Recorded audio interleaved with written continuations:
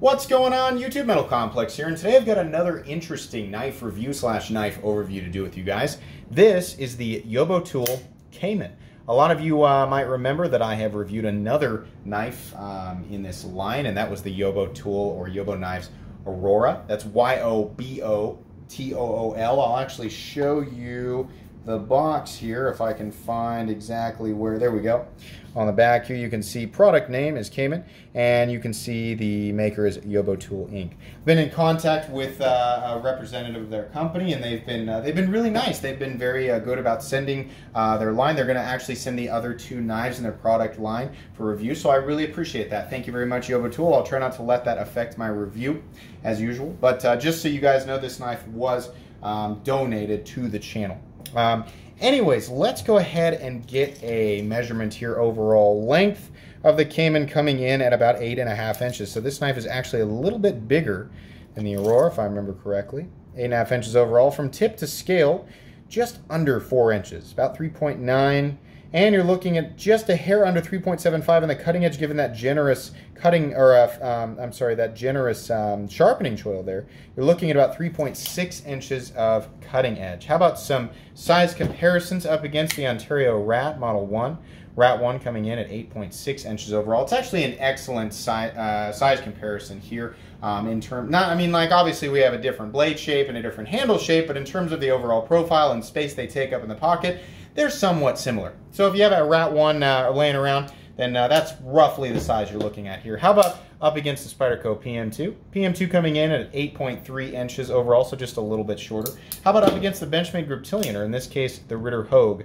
Ritter Hogue coming in at 8 inches overall, so a little bit shorter than the Cayman there. And last but not least, the Spyderco Para 3. Spyderco Para 3 coming in at 7 and a quarter inches overall. How about action? How's the action on this guy? Well, much like the Aurora, uh, the action is very snappy. And um, the uh, flipper tab's interesting.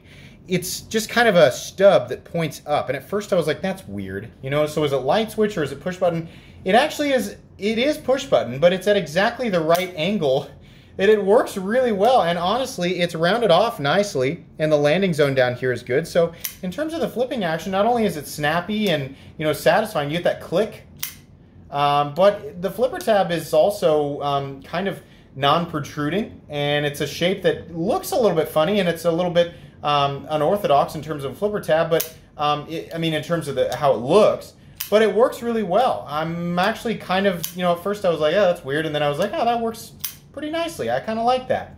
Um, so yeah, the action in terms of uh, flipping is good. It doesn't quite fall shut. It's going to be more of a shake shut, which is about what I expect on this price range. We'll talk about that later. Um, the action is definitely smooth. It's not like drop shut smooth. Um, it's just a little, a, a, little teeny tiny bit of friction in there. But like I said, it's very similar to action that I felt in a lot of other knives in this price range. I think it's important to remember that an absolute drop shut action, which is a lot of times you know, what we see on budget knives, I'll use the uh, FH12 as an example. This knife falls shut. Does that mean it's, um, you know, better than this knife? No, that's just how it is. Um, but uh, that, that, that is something that you'll see, and I think for newcomers, it's important to point that out, that just because you're not getting a drop shut action, I have knives that are well over $500 that don't have drop shut action. It's not necessarily a measure of quality, it's just something that you get sometimes and something that you don't get other times. This knife does run on bearings and it does feel nice. Um, no issues there whatsoever. Uh, let's go ahead and talk about um, the anatomy of this knife. What we have here is it kind of looks, it's kind of like the Aurora. It kind of looks like a DLC coating. It's, it's uh, similar to uh, the coating that you see on a lot of less expensive knives. Um, very similar to what you see on the coated version of the Rat 1 and 2. Um, I think it's stronger than paint, though I know that it's not necessarily, if it is the same as what's on the Rat, it's not going to hold up forever. It's going to be decently durable, but I wouldn't expect it to be like Spyderco's uh, tungsten-based coating or anything like that. Looks nice, though. It's very uniform. Um, no issues there in terms of the execution of it or the quality look. If you're seeing any marks in there, it's really just fingerprints. Um, what we're looking at here in terms of a blade shape is kind of a cross between a sheep's foot and a Wharncliffe. Uh, Wharncliffe. It's actually a very um, it's a fantastic shape in terms of a working blade. Um, you have a stock thickness here. And go ahead and turn on my calipers.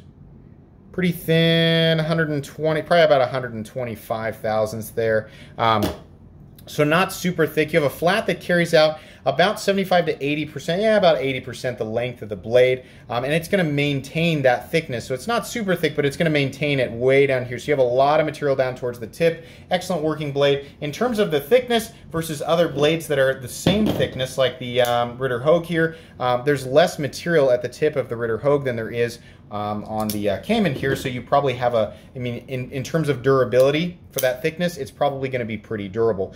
Uh, the, the edge is absolutely straight, so it's not going to be ultra slicey, but in terms of your draw cuts or your push cuts, you know, things like that, it's going to work pretty well. Uh, think like oversized, elongated box cutter. Really, the whole knife has this look of tool. You know, that's honestly what it looks like to me. It, I mean, yeah, in a way, it does kind of look like one of those pre-packaged folding cutter tools that you would see at Home Depot or something like that. Um, but and that's at first glance. But when I pick it up, you realize, oh no, it's actually a modern uh, flipper folding knife that's been executed well uh, in terms of overall fit and finish and quality materials for this price range.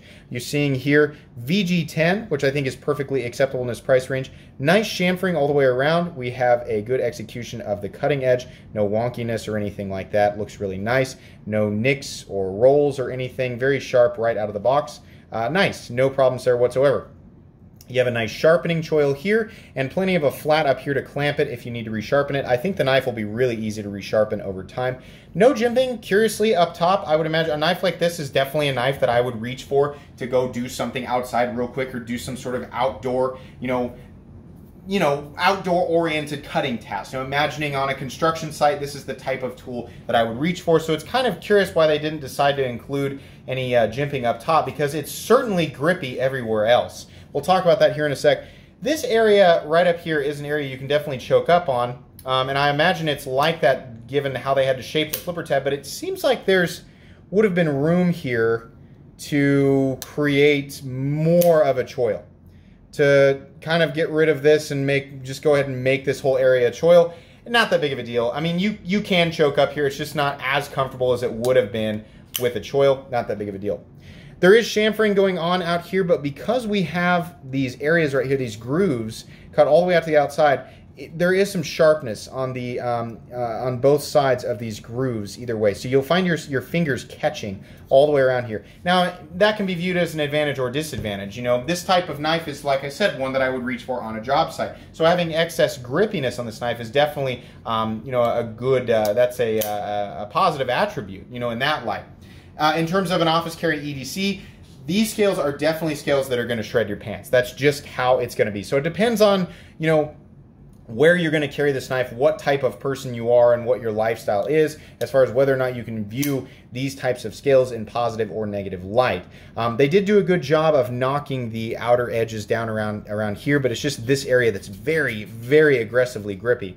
Um, we do have the uh, Yobo tool symbol there right in the middle of the pivot. Looks nice. It's got a black pivot color. I don't mind that. I've said this before, orange is not my favorite color in the whole world, but they do offer different colors with this knife. By the way, if you decide you want to uh, own this knife for yourself after this review, there's an Amazon affiliate link in the description. You can use my link and help support my channel. If you don't want to do that, that's completely fine as well. Um, but uh, yeah, you know, you can choose different colors if you decide this is for you. Thankfully, there is a cutout to engage the liner lock. I appreciate that. So, I mean, it, they're at least aware of it. It makes it a little less excusable on the Aurora, but that review's over. But I did point that out. I was curious that the on the Aurora they decided to go with form over function and not create a cutout to engage that lock bar. Why is that important? It's because as the lock bar wears over, there's less and less and less room to engage it from the from the top down, like pushing your finger in to move it over. But this cutout right here allows you to engage it from the side, which means no matter how far it wears over, you'll always be able to engage it. A problem that we have here because of where the flipper tab is positioned and where the detent ball is positioned is we have a double clutch. That means if you keep your finger, I just about cut myself on camera. Thank gosh, my finger, you see that? That's where my fingernail caught it. that right there is why that's an issue. Because the, if the detent ball were, if it were past the detent ball right here, it would mean I could move my finger out of the way, shake it shut.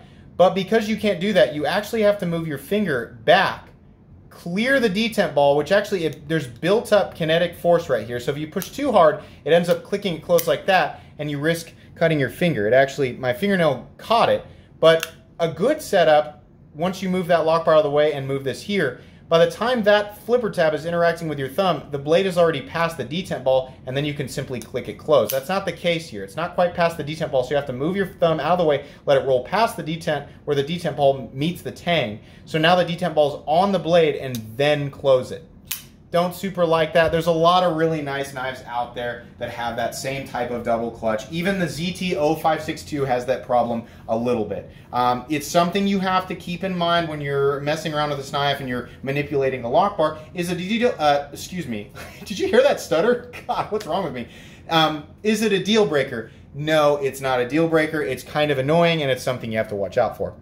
We have T6 screws. I don't like that. I've said it a million times. Let's move to T8 universally on the body screws. I'm just trying to say it in every video so that I can get as many people mimicking it as possible and hopefully at, at least a small change is made over time. Um, though I don't I don't fully expect to do make that uh, happen all by myself. So if you guys agree with me, then feel free to echo it. Um, ergonomically, it, it kind of looks like a blocky, chunky design, and it is. It's, it's kind of blocky and chunky. It's not the blockiest and chunkiest thing out there, though.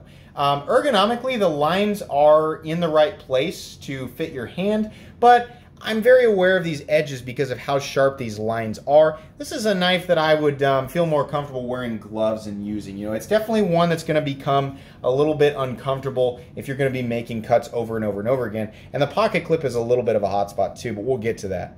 You have an interesting lanyard uh, loop back here that's just part of the G10 backspacer. It's interesting and it's different, and I appreciate it for that. It's not necessarily in the way of anything kind of. Um, it's cool looking, and it's it's like I said, it's not necessarily obtrusive. It just sort of goes along with the design, so I'm okay with that. Uh, again, another um, thing that they did that is is similar to the uh, Aurora is the fit and finish on the backspacer is absolutely perfect. Uh, it's it's completely seamless. They really fit that well, uh, and we do, by the way, have liners coming out to the lips. We forgot to weigh this. Again, let's weigh it. I'm sure you guys are like, why did you? I want to know how much it weighs.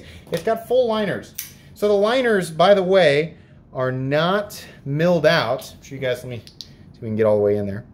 Yeah, no milling on the liners there. So full, full thickness liners. 5.22 ounces. I regularly carry knives that are about 8 to 8.5 inches that are over 5 ounces, so that's not that big of a deal to me. You have quite a bit of cutting edge, but I'll tell you right now, I know that there are people out there like, ah, it's over, that's too heavy, I don't want to carry that. You know, I don't think 5 ounces is that bad. Um, I think overall the carry profile is a little bit blocky. That's going to have more to do with why some people might not want to carry this, um, but it's not bad. I want to emphasize that it's not bad. Um, so ergonomically, it's okay. There's some sharp edges. The pocket clip does create a little bit of a hot spot. Let's talk about the pocket clip here real quick. Pocket clip is good. I like it a lot better than the one on the Aurora. It's going to carry about right here. You have a pretty substantial, not in terms of you know, it's not necessarily a shallow carry, but there's a lot of material sticking out here. Part of the blade, the handle, there's a whole bunch of stuff sticking out. It's not that bad. This is an outdoor work tool. It's not really meant to be a low profile, ultra shadow tactical, you know, carry, knife. This this reminds me of something that you would you would carry on a job site that would be easy to spot if it were dropped in the grass or the dirt. Um, you know, any orange knife, I guess you could say that. But so I don't know how important the carry position is for this, but just for people who are worried about that, that's about how much is going to be sticking out of your pocket. Not the worst I've ever seen, but still something to consider. The knife can, you know, go in and out of the pants pretty easily, but there's a lot of friction.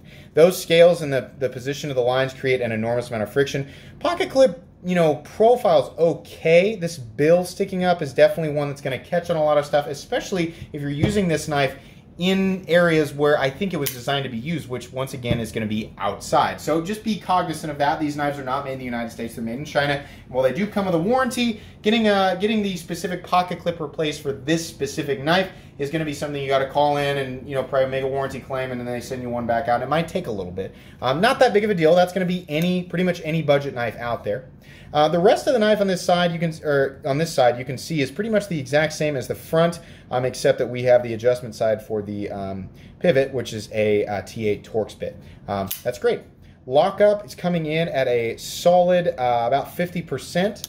This particular knife um, did come perfectly centered. I've been flipping it a lot.